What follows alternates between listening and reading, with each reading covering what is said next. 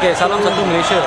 Saya berada di tempat mengundi pengundian uh, pilihan raya kecil Ulu Selangor dan inilah penyokong-penyokong dari uh, Parti Barisan Nasional dan, dan Parti ah, uh, Pakatan Rakyat dan keadaan di sini agak meriah dan begitu ramai orang membanjiri uh, tekan Kuala Kubu Baru.